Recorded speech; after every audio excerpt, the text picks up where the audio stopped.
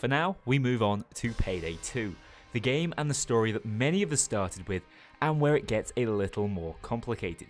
In this episode, it's a case of back to basics, but we're going to be introduced to a number of pivotal reoccurring figures with shady motivations and a brand new crew member. So sit back, relax, and enjoy. This is the story of Payday.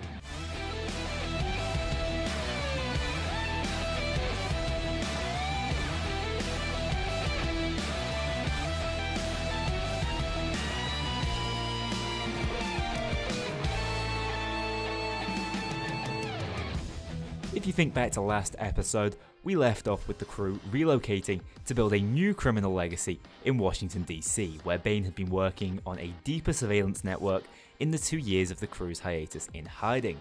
Crime.net was bigger and better than ever and ready for his most prolific criminal associates, the Payday Gang, to make full use of.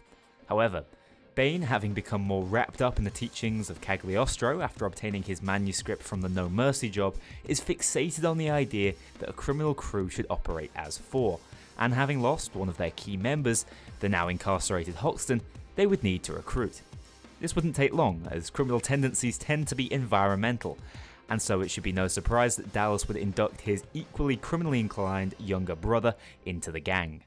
Dallas's brother would take on the mantle of Hoxton, partially out of respect for their incarcerated friend and partially to maintain their aura of invincibility and reputation built up over the events of Payday the Heist. This new Hoxton was quite a different beast to his old namesake. Lacking the liberal use of profanity and sarcastic sense of humour, New Hox was much more serious, stoic, and meticulous in his mannerisms. His backstory isn't particularly clear and real name is unknown, and although he shares some similarities to his brother, he's 13 years his junior, so Dallas was likely already an accessory of the Chicago mob before he'd even started school. This left New Hoxton as a man who struggled to fit into society, failed to hang on to a job, and quickly turned, like his brother, to crime.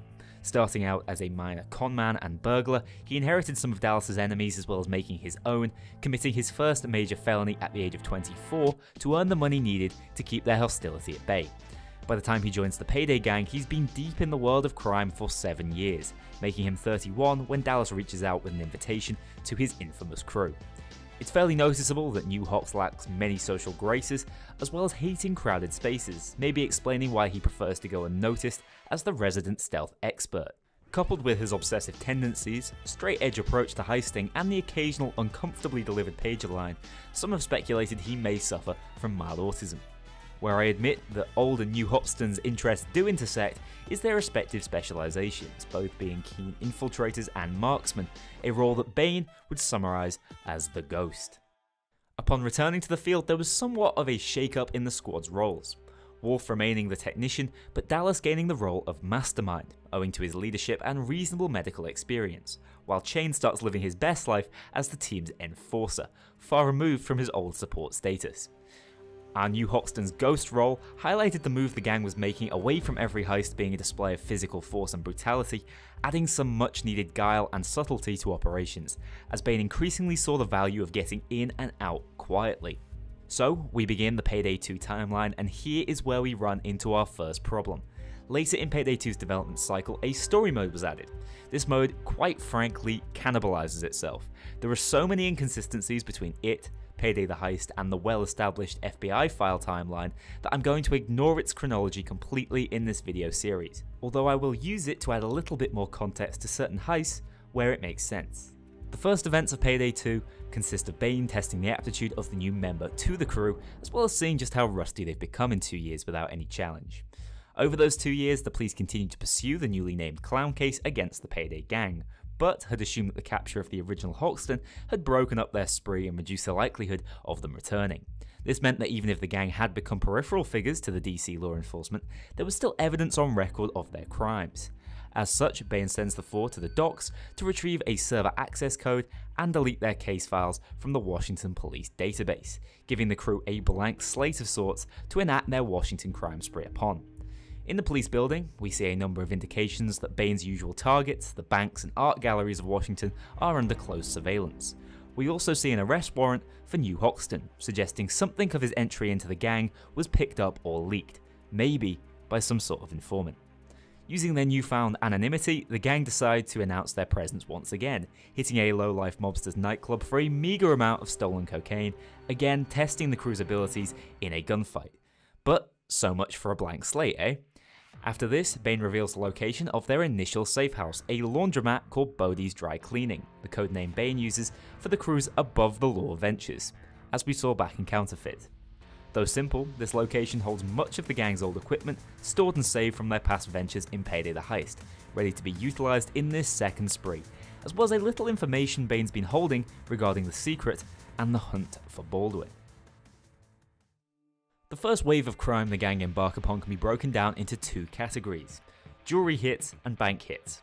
It's unclear how many jobs of this sort the gang did, but the FBI files note that calls from jewelry retailers around DC came in often to report armed robberies at their stores. A more noteworthy jewelry take was the GOLE di Familia diamond store. Its busy downtown location being seen as a crime deterrent, but the Milano jewelers obviously hadn't encountered Bain, who saw the opposite sending in the crew despite moderate security to show no location is safe from the payday gang. On the bank front, Washington law enforcement should have known this was the clown's bread and butter, but that didn't save multiple Harvest and Trustee bank locations being cleaned out for gold, cash, and the contents of deposit boxes. This particularly hurt the federal government, as H&T's losses were all insured federally. Other branches, such as the Roberts Bank in suburban Washington and seemingly first world branded locations, were just as exposed. GoBank virtually signaling that the size of the take was unimportant to Bain, seeing the value in ensuring all of Washington's financial institutions that they were at the mercy of the payday gang. These bank jobs also showcase the power of the Thermal Lance, a brand new drill designed specifically to get through the thick vault doors. Their steadily rising riches had to be spent somewhere, so Bain suggested the crew upgrade their arsenal via one of his DC contacts. Codenamed Gage, surname known to be Gagowski, is an Afghanistan war veteran turned black market weapons dealer. Paralysed from the waist down in a failed assassination attempt from an unhappy client, Gage is not one to be underestimated despite his frail appearance. Bain describes him as being two steps ahead of most in the criminal underworld, and we know for a fact he is both heartless and financially obsessed, as the FBI files report his discharge from the army came from being hit by friendly fire after attempting to loot the body of his comrade. A real bastard, but not one that we can't deal with. Speaking the language of money, the gang are able to deal with him and acquire some new and useful tools of war. Soon after, the armoured transport hits would take place, a series of jobs which Bain contracts based off information on armoured vehicle movements received from a Gen GenSec informant. In one of the four separate takes orchestrated in highly public locations around the city, the gang find blueprints containing information regarding the movement of a classified military weapon being moved in secure civilian rail transport. Ever opportunistic, Bain again sends the squad to track down the train and liberate the tech for the gang's coffers, found to be a state-of-the-art automatic turret.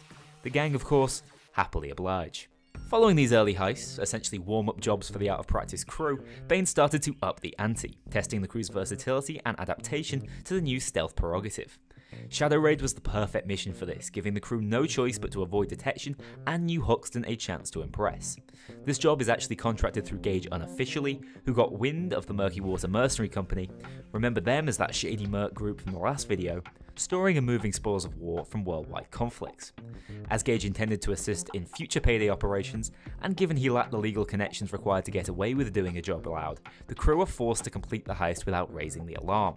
This is possible as they knew the shady nature of Murky Water's operations made it hard for them to bring the police into any sort of burglary matters. The crew entered the warehouse silently on the bank of the Potomac River, liberating much of their illegal contraband, including a full suit of authentic samurai armor belonging once to the famed Oda Nobunaga, much to the joy of Gage. Following this success, Gage hooks the gang up with more advanced and powerful weaponry, at a price of course. Particularly after the Payday Gang's success with the Murkies, impressing with their in and out silent handling of the job, Bain starts to think outside of himself, contacting a few influential individuals in the DC area, including an old friend of sorts. They would provide the gang with their own heists as independent contractors. During one hit on a larger Washington bank under the much maligned First World ownership, one of Bain's associates would introduce himself to the gang in quite some fashion. SWAT team arrives and you accept my invitation to my SUV, we, we drink, we talk, huh? There's some vodka, excellent vodka. Vlad, Vlad, Vlad, where to start on Vladislav Kozak, the enigmatic Ukrainian who once worked as an enforcer within the Russian mob. He's no one dimensional criminal, having tried his hand at just about every crooked escapade under the sun, settling on extortion and racketeering in the DC area. A bit of a wild card who certainly offers uniquely violent and public contracts. What we learn about Vlad over time is that he may be a little crazy, but he certainly is no fool, appearing to have contacts on the inside of the DC police force and links to many influential associations back in his European homeland. Even now, as we embark on the Silk Road campaign, we're finding that Vlad may have been more influential than we could have known. As of this point in the story, his recent 8 year stint in prison drove his proactive desire for revenge via the Payday Gang. Not only did Vlad offer his own jobs, he would also directly get the crew back in touch with one pivotal figure, but more on him later. After his introduction, Vlad sends the gang on a tirade of personal favours designed to re cement his position in Washington's underworld. Mallcrasher appears to be the first of Vlad's jobs the crew embarks on, consisting of high vandalism if such a charge existed, something not within the gang's usual line of work. I think this displays just how unconventional a contractor Vlad is and how influential he must be, despite his odd exterior, if Bain insisted on his top crew risking their freedom in such a public display of destruction. Vlad's briefing demanded they create $50,000 worth of destruction in the Shield Mall by any means necessary to force its owner, a Mr. Stone, to pay up for Vlad's valuable protection in his racketeering ring. As with many of Vlad's jobs, planning was a secondary factor, going in blind other than knowing a chopper assisted escape was their route out, piloted this time by Bile, Bain's secondary helicopter pilot. Soon after returning, Vlad again wanted us to do his seemingly simple dirty work in what became known as the Four Stores heist. This time, the crew were amused by the simplicity of a hit on four basic stores in a quiet part of town for just $15,000 worth of miscellaneous loot. Nothing compared to what they were doing back west. What Vlad failed to mention was the armed security and connections these shops had to the Russian mafia, of which he was once a part. Well, seeing as these shops used to operate business for Vlad himself, it's not much of a surprise that he wanted to get some revenge for their lack of loyalty to him when he was incarcerated. In any event, the crew managed well enough, despite Vlad's unwillingness to work with details, taking a token sum that was more of a sign of things to come than it was a great take for our crew. Now we move to two jobs even more personal for Vlad, both part of a crusade against his former friend, turned snitch, Dmitry Volkov a Russian mafia boss living out the DC area. Ukrainian job looked like a standard jewelry store smash and grab, but standard jewels were not really on Vlad's radar. He was more interested in stealing a one of a kind tiara lined up for Dmitry's bride to be to wear at their wedding. As Vlad says, this is more about ruining the perfect day of his once friend than it was a financial venture. The crew head to the back of the store to liberate the tiara, enraging Dmitry's future wife so much that she even goes as far as to call off the wedding. A big win for Vlad, but not enough. Next up on his hit list was the Tasteful Club, a nightclub owned by Dmitry and one of his greatest assets, hosting illegal gambling and being a safe house, so to speak, for his take and product in many illicit dealings. Vlad wanted us to clean him out, take whatever was in his safe, and massacre the profitability of his club in the process, giving us free reign to do whatever we wanted with him should we happen upon the man himself. Things went as planned, and Vlad's influence was reasserted at the expense of his rival competitors. Unsurprisingly, Vlad's impressed, and so points us in Hector's direction. The Colombian drug lord to whom we fenced that Mayan gold after Overdrill, a higher up in the Mexican Sinaloan cartel and once founder of the diminished Morales cartel, Hector was beyond pivotal to the East Coast drug trafficking operations of the period.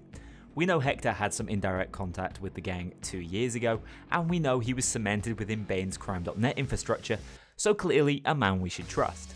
Vlad presented an opportunity for direct contact with the man himself, offering jobs which revolved around cartel operations and revenge, primarily using the gang as drug escorts and paying exceptionally well for their services. Yet, every job always seemed to go a little astray. In Watch Dogs, Hector sends the gang as convoy guards, holding the back of a meat truck full of his product like fish in a barrel. An issue that came to the fore as a police ambush is sprung on the crew, surrounding the truck.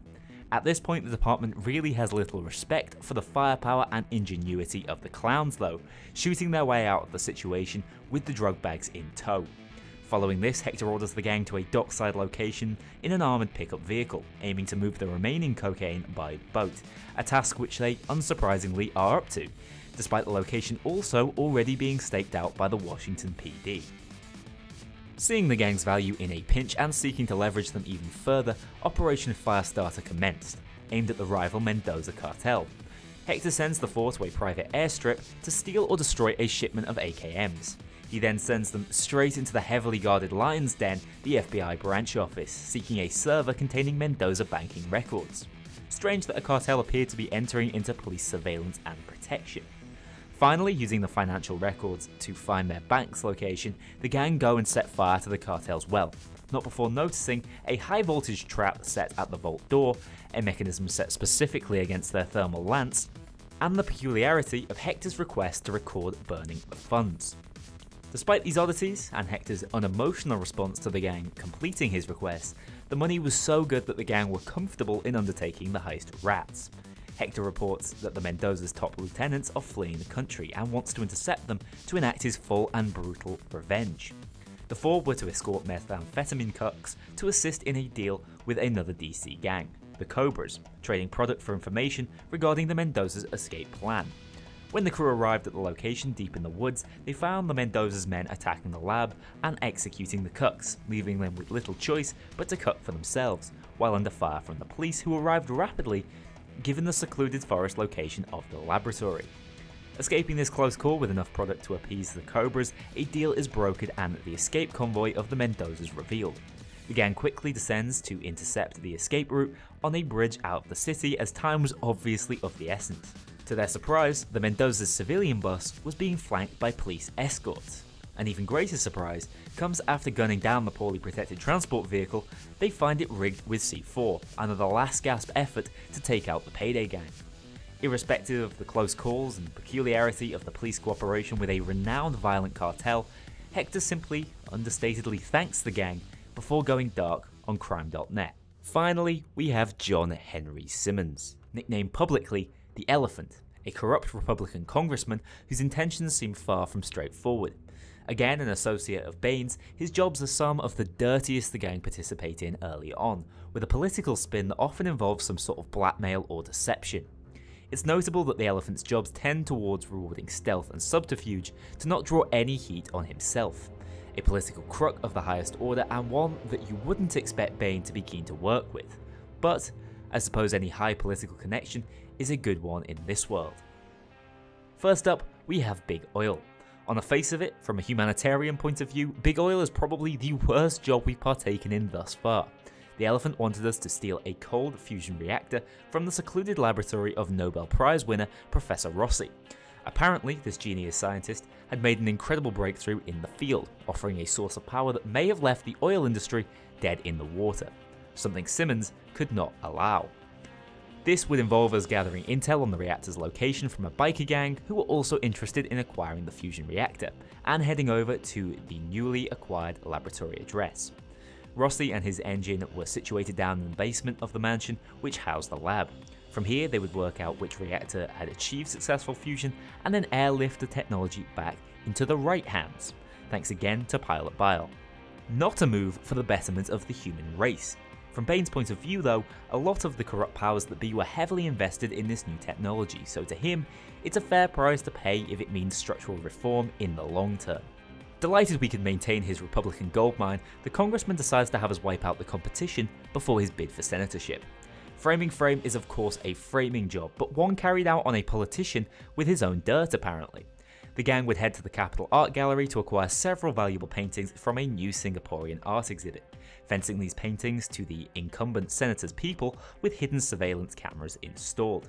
The final day saw the crew again leveraging Hoxton's expertise, using the cameras to assist his movements around the senator's rooftop apartment and plant cocaine in his mansion. Whilst foolproofing the framing job and accessing the man's electronic devices, Bain discovers the popular senator was not at all clean himself, being involved in his own weapon and drug trafficking operations while in office. So I suppose here, the ends really do justify the means. As pointed out by the FBI files, this would have just the effect of political musical chairs the elephant needed to find himself in that newly vacant senator role. Crime.net's insider asset was becoming more influential, an influence that Simmons himself suggests should be spread more directly to DC's leadership, putting forward just the man for mayoral candidate. Getting his man Robert McKendrick into power as DC mayor involved a smattering of vote fixing in the heist election day, tracking the electronic voting machines to a dockside warehouse and further tagging them to a Goose Island storage facility. Here, the crew would use, again, infiltration and subterfuge to access the machines and input fraudulent votes for McKendrick's opponent, Mayor Nancy Schwartz, disqualifying her as a candidate and giving McKendrick the appointment by default a seemingly useful ally considering his entire campaign was driven on anti payday gang sentiment, as within the month, McKendrick has Old Hoxton moved to a lower security prison, in anticipation for a potential retrial. Something the gang wouldn't have to wait long to act upon, as McKendrick wasn't the only pivotal character to the breakout we'd be hearing from. Soon after, the dentist would come calling. How did it feel, leaving him behind?